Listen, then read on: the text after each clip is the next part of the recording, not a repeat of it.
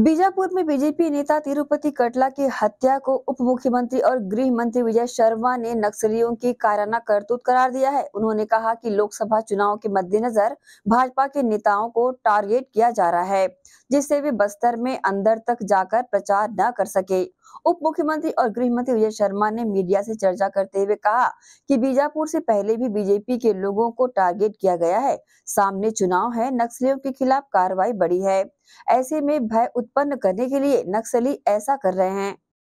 कायराना है, बीजापुर में भी हत्या हुई है, उससे पहले भी और भाजपा के लोगों को टारगेट करके भी ऐसा किया जा रहा है।